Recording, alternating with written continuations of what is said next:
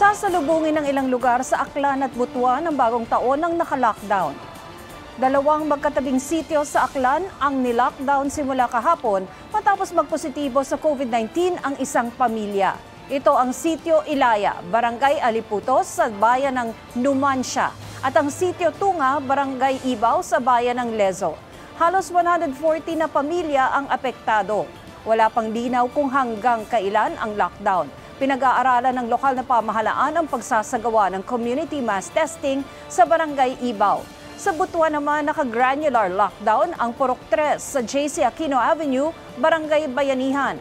Ayon sa mga taga-barangay, nagpositibo sa COVID ang isang residenteng senior citizen.